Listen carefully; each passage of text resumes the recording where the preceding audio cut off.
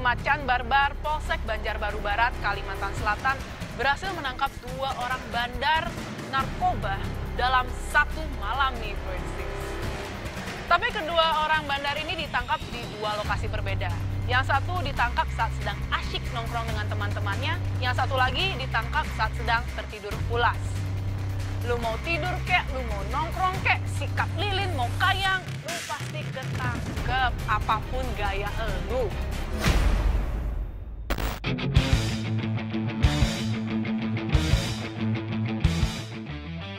Polsek Banjarbaru Barat Polres Banjarbaru mendapat informasi adanya aktivitas mencurigakan di kawasan landasan Ulin Kecamatan Liang Angga, Banjarbaru, Kalimantan Selatan.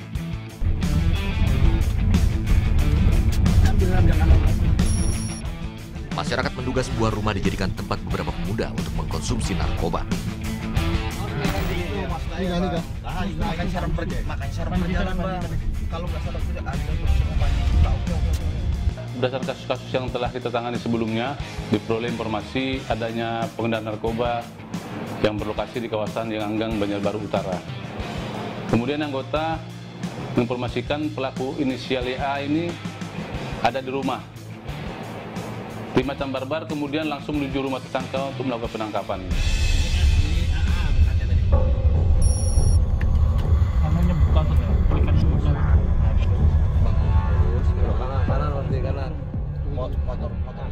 Di Macan Barbar Opsional Reskrim Polsek Banjarbaru Barat dipimpin Panit 2 Aibtu Deden Lesmana, kemudian mendatangi lokasi dimaksud.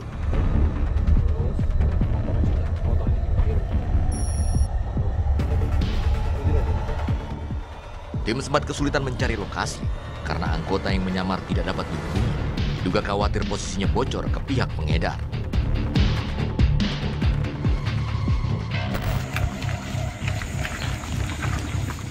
Tiba di lokasi, tim menyebar di sebuah bangunan kayu bekas sebuah warung di Jalan Kelurahan, Landasan Ulin Selatan.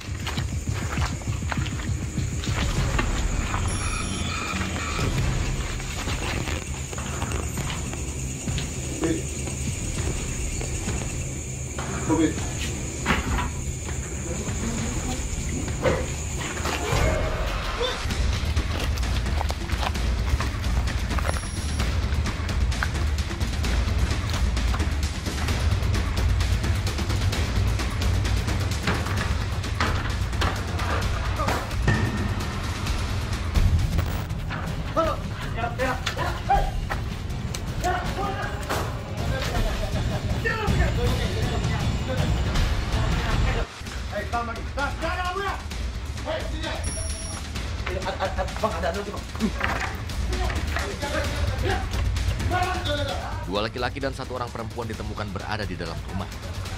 Mana? Letak ya.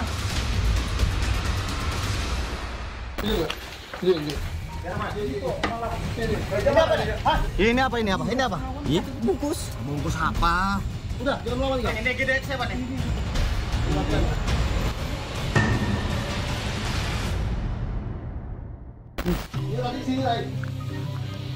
Panggil Pak RT, Bang ya, Sudir Reja ya? RT-nya di mana sini, Bang?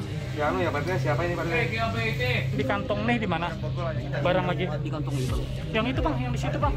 Di situ tadi. Itu ada dapat itu. Mana? Itu dapat dari mana? Di jalan, kamu. Kamu ambil di mana, Gilang? Pramuan. Ambilnya di Pramuan. Pada siapa? Ayo jaga nanti Mana Ji tadi Ji? Barang Ji. Saat dilakukan pemeriksaan, selain menemukan plastik kemasan sabu bekas pakai di lantai, tim juga menemukan dua alat hisap dan satu bungkus kecil sabu. Kan nih tiga kalau tiga paket lo. Iya ini dua aja hanya nih. Satunya terpakai. Satunya mana? Kan Oh, tuh, tuh, tuh, tuh, tuh. Iya, Borgol, borgol, borgol. Eh, satunya ini udah pakai nah. Kita ada informasi dari masyarakat bahwa di sini yang ada orang ini. Dari penggeledahan, petugas menemukan dua bungkus kecil sabu di tubuh YA alias Biawak. Nah, ini kan dua, satu di tanganmu, di, di, di, tas, kantong. kantong, satunya di samping tilam, satunya mana lagi? Hah? Eh, kan berapa paket gram dapatnya? Pun. Tadi dapat tiga. Tiga, ya. Nah, satu paketnya mana sudah dipakai kah belum? Nah, belumnya di mana? Hah? Coba coba ikam berdiri dulu. Lu dah lu. Jangan lawan, jangan lawan. Setelah diperiksa kembali, tim menemukan satu bungkus paket kecil narkoba lainnya di kantong celana jeans YA. Nah, oh, banyak lagi nih. Ah, kau bilang dikit. Ini ya, eh, lihat ya. Ambil video ini. Dua, eh, Eh, lihat ini. tiga paket di kantongmu, ya lo.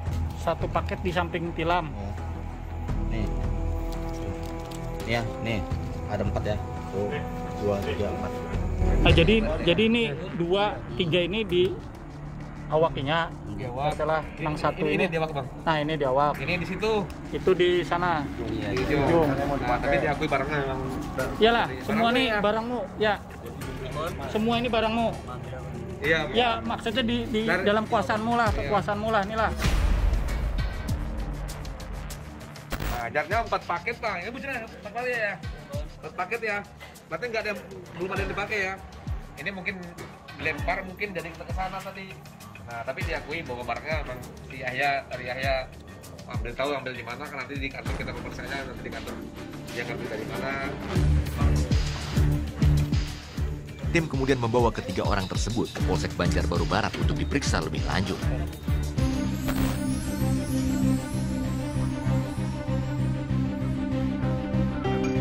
Pemeriksaan tersangka YA alias Biawak mengaku bahwa barang haram tersebut diperolehnya dari seseorang pengedar lainnya yang berinisial MA yang bertempat tinggal di daerah Landasan Ulin, Banjarbaru Barat. Tanpa menunggu lama, tim kemudian langsung menuju ke kediaman MA untuk meringkusnya. Yang saat itu eh, saudara MA sedang tertidur pulas. Dari pengakuan YA, penyuplai barang haram tersebut adalah temannya MA alias Acung. Tanpa menunggu lama, tim Macan Barbar langsung melanjutkan pengejaran ke rumah mertua Ancung di Jalan Arga Budi, Landasan Ulin Tengah.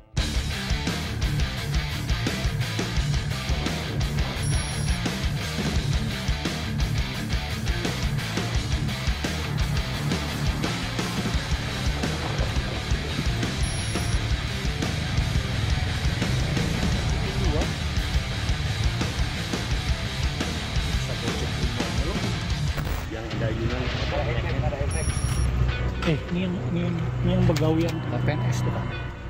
PNS kayaknya. sepeda motornya apa?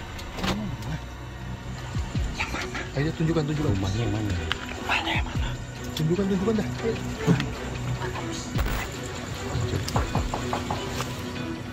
Ketahui rumahnya diketuk polisi, istri tersangka Ancung yang sempat membuka pintu langsung menutup kembali pintu dan menguncinya.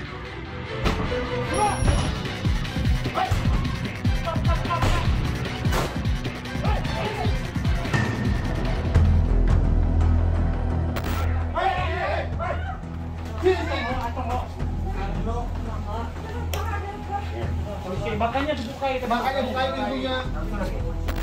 Udah lah, eh, supaya kami nyaman, Pak. Ya udah lah. Udah, udah. Di rumah ada. Di rumah Barangnya mana? Demi Allah. Ya, di mana?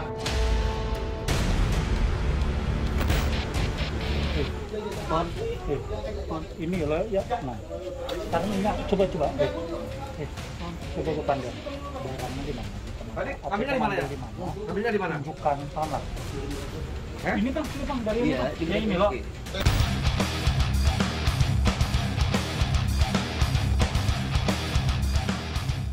Tim kemudian membawa kedua tersangka bandar sabu ini ke Polsek Banjarbaru Barat untuk pemeriksaan lebih lanjut. Acung ini mengaku memberikan paket narkoba kepada YA alias Biawak, di mana MA sendiri mengaku mendapatkan suplai narkoba dari seseorang yang tidak dikenalnya dari daerah Banjarmasin. Keduanya dimintai menjual kembali paket narkoba sampai habis, baru bisa mengambil kembali kepada bandar besarnya.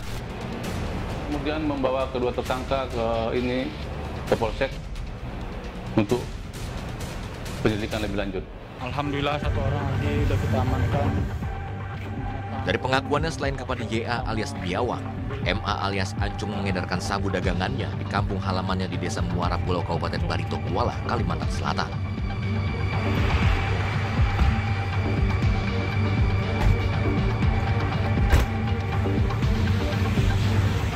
Keduanya terancam pasal 114 ayat 2, subsidiar pasal 112 ayat 2, Undang-Undang Nomor 35 Tahun 2009 tentang narkotika dengan ancaman hukuman paling singkat 6 tahun penjara. Bye.